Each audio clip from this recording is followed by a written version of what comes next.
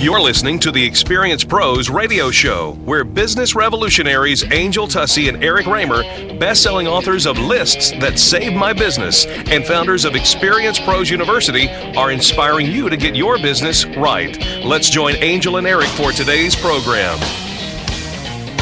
Hello, Denver, and welcome to the Experience Pros radio show with Angel and Eric. We're here to remind you that small business is big business, and your business is our business.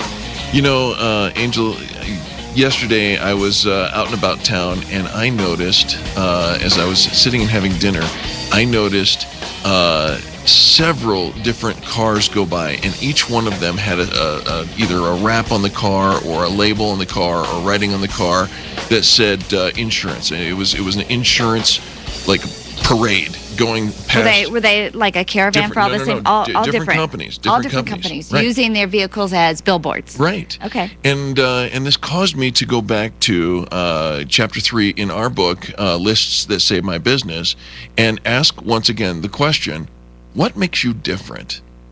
Is it a car wrap?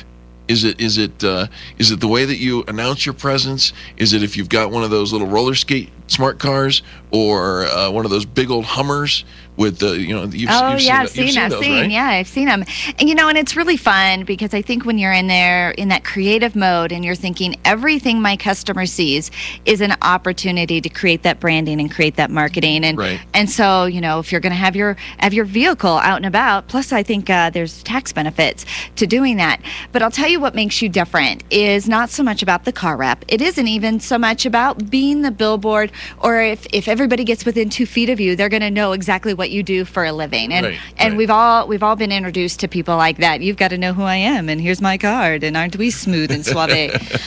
but what makes you different is really the audience that you serve Right.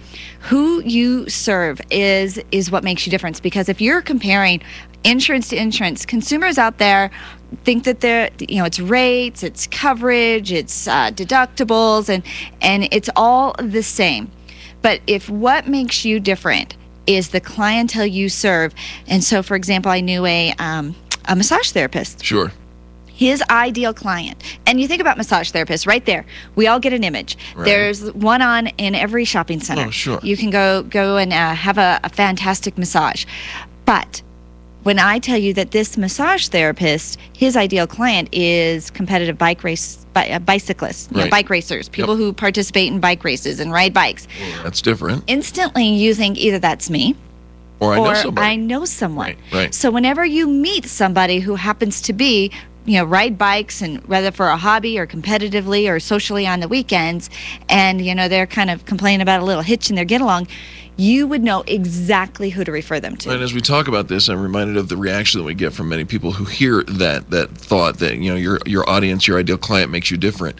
Uh, they say, "Well, I don't want to be narrowed down into that little niche." I mean, what what if uh, somebody comes in and they're not a bicycle rider and and or Will you still service them? Absolutely, because and so yes, you do want to be down in that little niche. Now, does he also provide massage to the family and friends and maybe coworkers and people who don't ride bikes?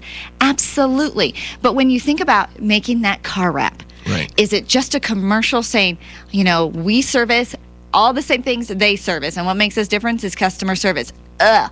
Nobody's listening. But when you make sure that your website, your business cards, your social media presence, your commercials, your your vehicle wraps, and everything is talking to that ideal client, then you actually get to be the expert in the industry.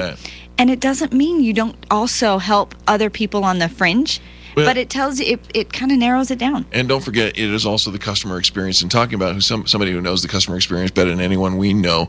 How about the Simonson team, Remax Professionals? It is Tuesday, and they are out and about creating an experience for their very specialized customers. It, uh, you know that customer experience, and I think that a lot of times we forget that all that marketing that you do out in the community to bring customers in, if you don't provide extreme customer service, that memorable customer experience, Right. you're going to lose out. So kudos to the Simonson team with Remax Professionals.